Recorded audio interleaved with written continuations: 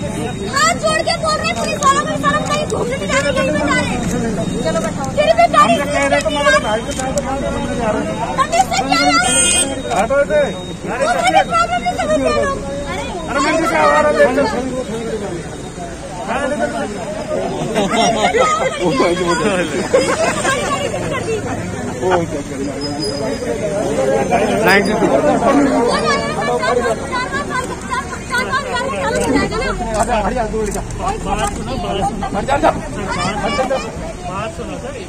क्या बात सुननी क्या बात सुननी मैडम थोड़ा क्यों